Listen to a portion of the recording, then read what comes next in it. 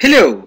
In this video we talk about the cumulative distribution function or the CDF. So remember that uh, as we discussed before, one way to describe the distribution of a random variable, a discrete random variable, is to use the probability mass function. We define the probability mass function of a random variable x. px of x is equal to the probability that the random variable x is equal to x. So for example, px of, I don't know, 3 is the probability that x is equal to 3. Now, another way to describe the distribution of a random variable is to use CDF. And CDF has some advantages over the PMF.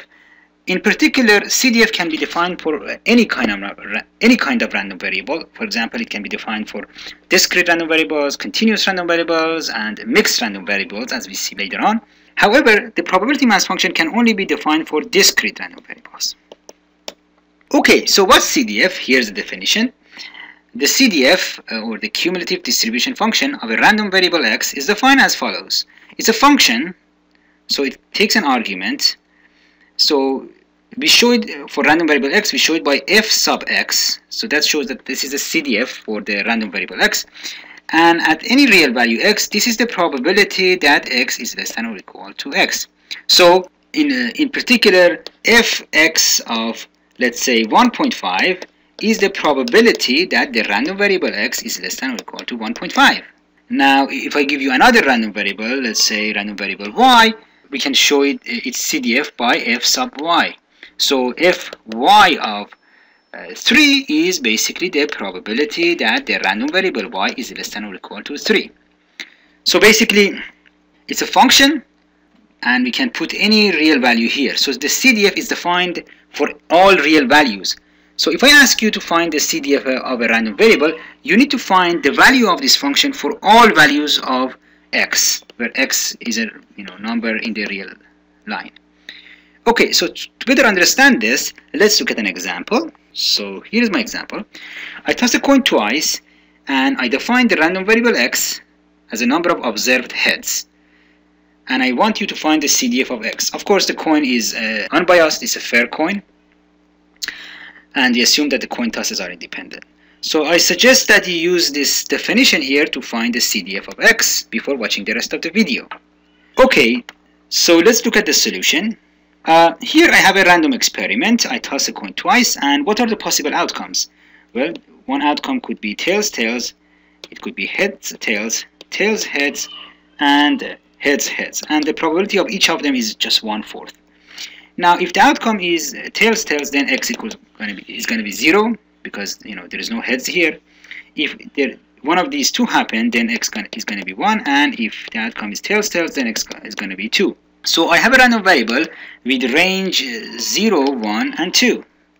And we can find the probability of each of them. Uh, probability that x equals 0, well, it's just one of them here, so 1 over 4. Probability that x equals to 2, there are two possibilities. So px of 2 is going to be uh, 1 over 4 plus 1 over 4 which is 1 over 2 and px of uh, 2 is going to be 1 over 4. So this is px of 1, sorry. Okay, so uh, we found its PMF. Basically, we, we can plot the PMF, probability mass function. So the probability that x is equal to 0 is 1 over 4. The probability that x is equal to 1 is 1 over 2. The probability that x is equal to 2 is 1 over 4. Now I want to find the CDF. So let's show the CDF of this random variable by f sub x of alpha, where alpha is a number, is a real number, right? We need to find this for all real values. So from the range of this random variable, we can immediately find uh, the value of the CDF for some of the alphas. For example, if I ask you what is fx of minus 2 or minus 3, what do you say? This is the probability that x is less than or equal to minus 3, which is basically 0, right? Because x is always uh, a value from 0 or to 2. It's going to be 0, 1, or 2. So it's not going to be less than minus 3. So basically, I can write down that for all alphas, for all negative alphas basically for alpha less than 0 then fx of alpha is gonna be 0 this because this is the probability that x is less than or equal to alpha. How about if alpha is a value larger than or equal to 2 no, if alpha is somewhere here. For example what is fx of 3 probability that x is less than or equal to 3 that's 1 because x is always less than or equal to 3 so fx of alpha in this case is gonna be 1 for all alphas larger than or equal to 2 Note that we, we need to be a little bit careful about when we put larger than or equal and when we put less than 0 here. Okay, so let's choose a value uh, between 0 and 2. Let's. How about if uh, alpha is something, some value between 0 and 1? Let's say alpha is 0.5, right? What is f, fx of 0.5? Well, the probability that x is less than or equal to 0.5 uh, is the probability that x is equal to 0 basically. So for alpha less than 1 but larger than or equal to 0 fx of alpha is basically probability that alpha is x is equal to 0 so if x is going to be px of 0 is going to be 1 over 4 and finally if I choose a value here probability that x let's say 1.5 x is less than or equal to 1.5 is a probability that x is either 1 or 0 so for alpha larger than or equal to 1 less than 2 fx of alpha cdf at point uh, alpha by definition this is probability that x is less than or equal to alpha which is equal to probability that x is either 0 or 1 which is um, 1 fourth plus uh, 1 over 2 which is gonna be 3 fourths and we are done because if you look at this we, we have covered all real values of alpha so let me summarize this thing here. F x of alpha is gonna be, as we saw, is gonna be 0 for alpha uh, less than 0, right here. You can, you cannot see it anymore. For alpha uh, between 0 and 1, larger than or equal to 0, less than 1, uh, it was 1 over 4. For alpha for alpha less than 2, larger than or equal to 1 is going to be 3 over 4. And finally, for alpha larger than 2 is gonna be 1. So let's plot this function and see how it looks like.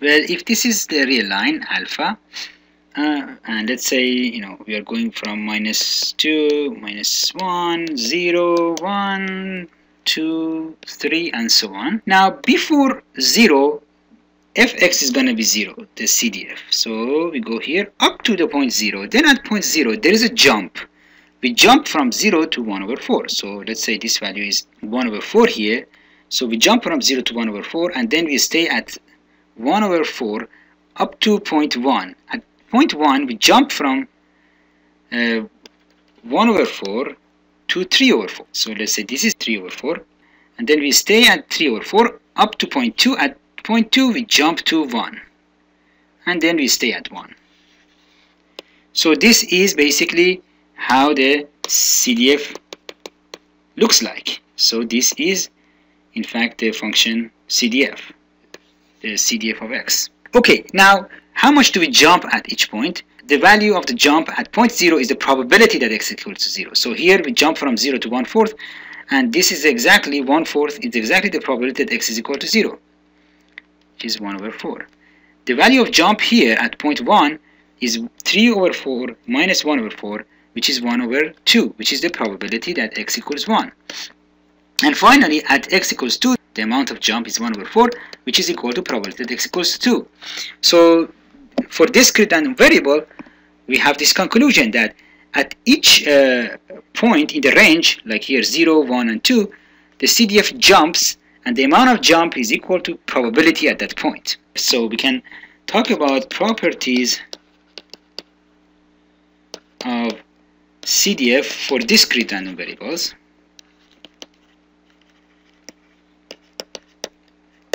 So let's summarize these properties. The first property is, if I ask you, as we move to the left, right, what is uh, the value of the CDF? In other words, if I ask you what is fx of minus infinity, or the limit, what do we say? The probability that x is less than or equal to minus infinity. Basically, that is zero, right? x is always larger than or equal to minus infinity. So if x of minus infinity is going to be 0. Similarly, as you go to the right, what happens? The CDF approaches 1 because uh, you know the, by definition CDF is a probability that x is less than or equal to alpha. So if alpha equals infinity then probability if alpha equals infinity then probability that x less than is less than or equal to infinity is basically 1 so if x of plus infinity is 1 okay. So another property that we notice is that by definition, the CDF cannot go down. So if you go from left to right, the CDF can, can only go up. So this is a non-decreasing function. It cannot go down. So CDF is a non-decreasing function. Another way of saying it is that if alpha is less than or equal to beta, then the CDF at point alpha is less than or equal to the CDF at point beta. Okay, so the third property that I want to talk about is the jump property that we discussed. You know, for any value in the range, if you look uh, at a value in the range, let's say for any xk, xk is a possible value of x, xk in the range, in the range of the random variable x, then if you look at the CDF at point xk minus the CDF at point xk minus epsilon, where epsilon is a very, very small value, then this is a jump at point xk and is equal to the probability that x is equal to xk for epsilon small enough. Okay, this is what we saw here. You know, we jump here, we jump here, and we jump here. Okay, and finally, the last uh, property it's a useful formula.